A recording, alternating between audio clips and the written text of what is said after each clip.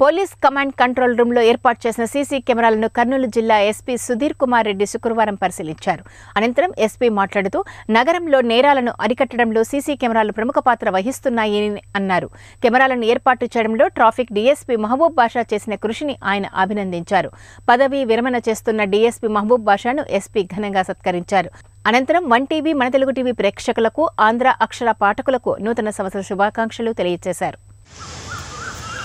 మన కర్నూలు సిటీలో కొత్తగా ఒక నలభై రెండు లొకేషన్స్లో high resolution eight mega pixel కెమెరాతోటి CCTV monitoring installation జరిగింది.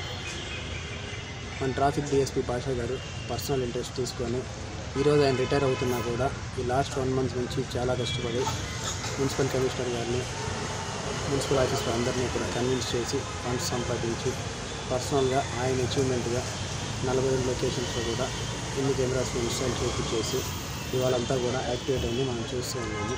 దీంతో ఇంతకుముందు మనం కర్నూలులో టూ ఎయిటీ నైన్ పాయింట్స్లో మానిటరింగ్ చేస్తూ ఉన్నాము.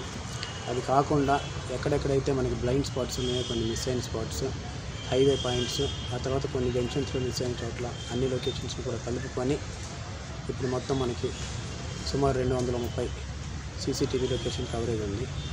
సో దీని అంతటికి కూడా ఎంతో కష్టపడి శ్రమించినటువంటి పాషా గారిని బాగా అభినందిస్తున్నాను. అదేవిధంగా ఇవాళ రిటైర్ అవుతున్నారు. సో రిటైర్ అవుతున్న రోజు కూడా ఎంతో నిబద్ధతతో డ్యూటీ చేసి ఇదంతా చేస్తున్నారు. ఇలాంటి వాళ్ళ డిపార్ట్మెంట్కి రావడం నాకు చాలా గర్వంగా ఉంది.